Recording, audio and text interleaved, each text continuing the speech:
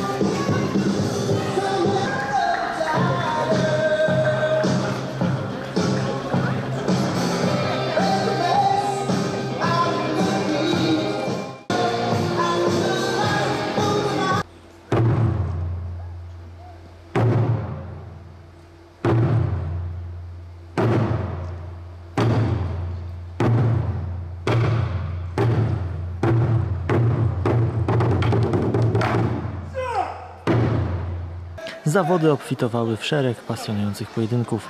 Na macie swoją sprawność prezentowała młodzież, ale równie widowiskowe były zmagania najmłodszych. Łącznie wystąpiło ponad 200 uczestników. Każdy pojedynek czujnie śledzili sędziowie. Jurorzy dbali, by rywalizacja odbywała się zgodnie z przepisami i zgodnie z zasadami fair play.